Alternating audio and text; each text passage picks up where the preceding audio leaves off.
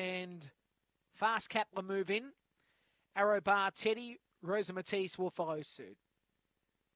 Just waiting for the runners to move in. So we're nearly right for a start here. Still the favourite Arrow Bar Teddy, two dollars, three forty for Rosa Matisse. Green light, the lure's on the swing. Race ten, Produce Door, non-penalty stake. Ready, racing.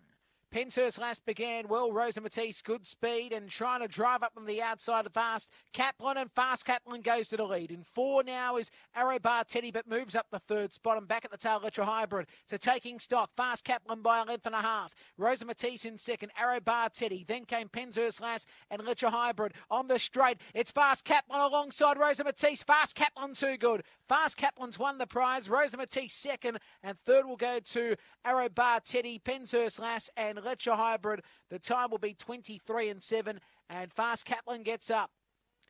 Fast Kaplan, too good.